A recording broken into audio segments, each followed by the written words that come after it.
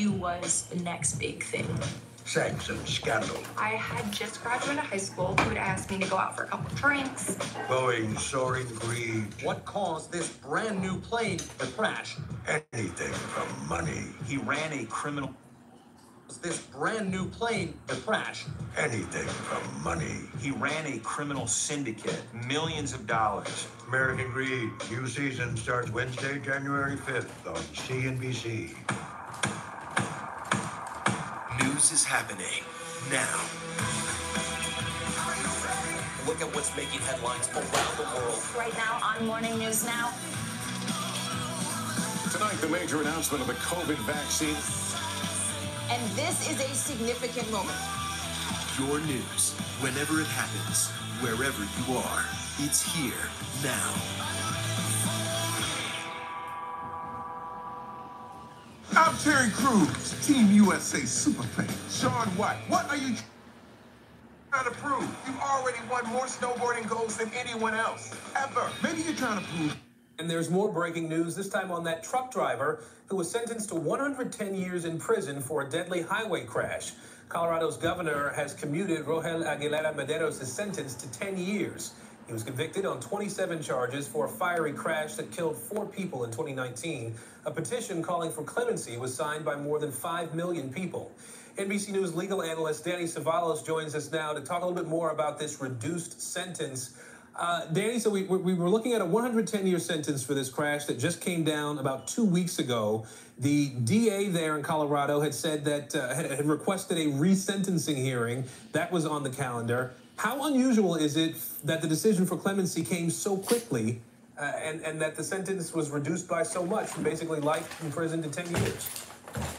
So unusual that we're not likely to see anything like this again. But then again, this is an unusual situation. You have a weird combination of mandatory minimum sentences that led to this completely bizarre, unexpected result that is uncommon. But as a defense attorney, that's exactly the problem with mandatory minimums is that they take the power away from the judge who should have the power to sentence and uh, they give that power almost exclusively to the prosecutor. A little too much power in the prosecutor's hand.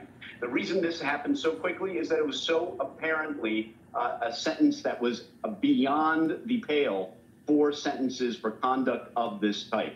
Uh, especially given the facts and circumstances. Of course, a tragic crash, tragic result, but this was this sentence, 110 years, was not within the heartland of similar sentences. So, Danny, we saw the governor get ahead of, of, the legal process in a lot of ways before the appeal, before this resentencing hearing.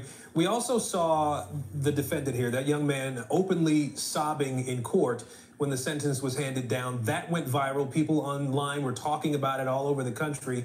Uh, as you said, the judge admitted that his hands were tied with the mandatory minimum sentence laws. We saw the online petition for clemency getting more than 5 million signatures. Truckers also, you know, got on the road and protested that, that uh, sentence. Do you think this commutation was about public pressure or was it about the sentencing laws being uh, so messed up?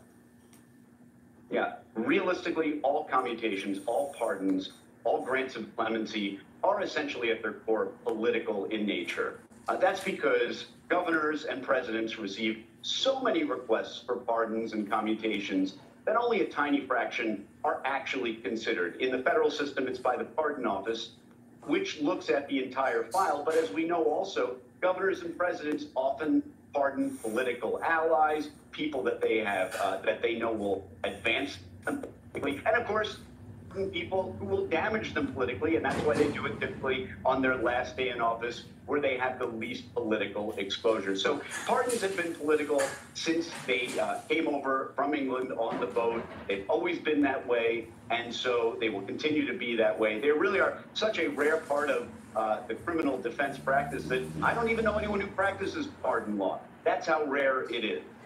All right, NBC News legal analyst Danny Cevallos with us tonight. Danny, thank you.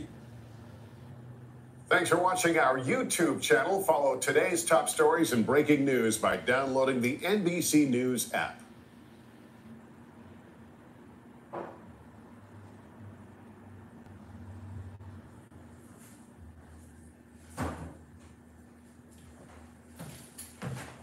Yet another twist in the saga involving the once prominent South Carolina attorney, Alex Murdaugh. and the multiple deaths in his family. Newly revealed documents raising questions about his wife, Meg.